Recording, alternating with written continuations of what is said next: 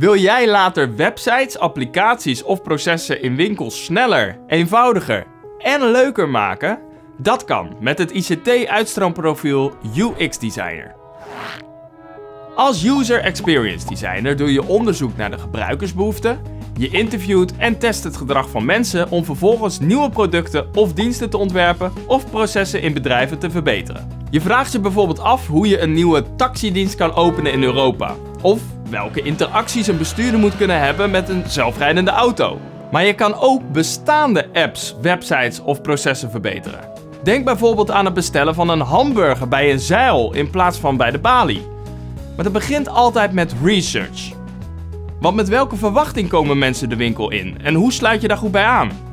Vervolgens bouw je kartonnen prototypes en test die.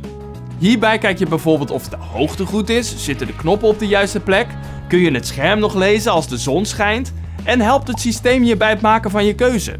Belangrijk hierbij is dat je niet alleen gebruiksvriendelijke interaction designs maakt, maar dat je er ook voor zorgt dat mensen dat echt gaan gebruiken.